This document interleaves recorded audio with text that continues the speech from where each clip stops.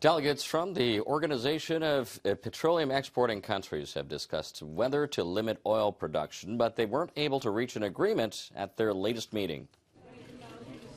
Iran insisted on individual targets. The country has been increasing output since Western sanctions were lifted. That has made relations with major oil producers, Saudi Arabia, tense. Iran, they still want to produce the, their pre-sanction uh, quantity, and also we have another country is, uh, is now is, uh, is missing from the market, Libya. So to, to come up with a number, it's very difficult to do. The meeting follows a disagreement at a gathering in December and another in April that included non-OPEC members. For more on the meeting and its impact on the markets, I earlier talked to our senior economic correspondent, Reiko Sakurai, who's been following the moves. I first asked her why OPEC members failed to once again come up with an agreement to control output. The meeting ended an hour or more earlier than scheduled without much heated debate, and that shows the sense of crisis appears to have somewhat waned among the member nations. WTI crude prices dipped to $26 per barrel in January, but they were picking up to around $50 recently due to lower production in the U.S., political turmoil in Venezuela and Nigeria, and a recent wildfire in Canada. That led to a loss of momentum toward more cooperation. OPEC's de facto leader, Saudi Arabia, had indicated it intended to seek an agreement and demonstrate OPEC unity. But Iran was not persuaded, and no deal was reached. Now, how is this affecting markets at this well, time? Crude prices fluctuated by more than 1% immediately after the meeting, showing that investors are getting nervous. And many analysts think that the recent uptick in oil prices is just temporary.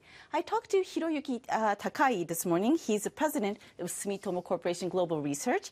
Uh, Takai noted that inventories of crude are piling up and does not expect prices to rise anytime soon. He thinks that it will take time, maybe as early as within this year, but more likely until early next year before inventories start coming down. Some are say, saying OPEC as an organization is growing uh, a lot weaker. Are times changing to a point where this cartel no longer has much influence, do you think? Mm. Well, critics say that oil cartel is becoming just a talking shop recently. Uh, Saudi Arabia and some members are trying to restore the sense of unity in OPEC, but are failing in the effort to restore their function of controlling prices. OPEC's indecision is impacting the markets in ways that are stark contrast to its former dominance. Japan's transport ministry has launched an investigation at Suzuki Motor over its manipulation of fuel efficiency data. Ministry officials have questioned the company's senior officials and people in charge of development. The investigators started work at company headquarters in Shizuoka Prefecture on Friday. They checked the content of the automaker's in-house report on the fabrication submitted to the ministry earlier in the week. Suzuki has admitted it failed to perform the required outdoor mileage test for 26 models. Instead, it submitted data for indoor tests. Over 2 million vehicles are affected. The company's internal probe has found that an auto development department started the wrongdoing in 2010. Suzuki says it retested all the models using the required methods, and the results turned out better. The company says it will continue to sell the affected models. Checking the markets, Tokyo's Nikkei average ended positive for the first time in three days. Before the details, we go to our business reporter, Phoebe Amoroso at the Tokyo Stock Exchange. Phoebe. Investors were relieved that oil prices stayed stable during Tokyo trading hours, even after the OPEC failed to set a ceiling on output. The Nikkei average ended about half a percent higher, closing at 16,642. On the week, the Nikkei lost about 1%. The broader Topix rose 0.4%. Looking at individual stocks, the standout performer was fast retailing operator of clothing store Uniqlo. Its shares rose nearly 7% after data showed domestic sales in May rose almost 6% from a year earlier. And shares of Takata gained 1.6%. That's on reports that a Chinese auto parts maker may invest in the troubled airbag manufacturer. Some negatives, though, from component makers linked to Apple products on continued concerns about sluggish global smartphone sales. TDK fell 1.5% and Alps Electric was down more than 3%. Now, the focus next week will be on how Tokyo markets react to the US jobs data released on Friday. And of course, the UK's potential exit from the EU will keep uncertainty levels high until the referendum later this month. I'm Phoebe Amoroso from the Tokyo Stock Exchange. Phoebe, thanks very much for that report. Other markets of the Asia Pacific region also extended in the positive and cautious trading.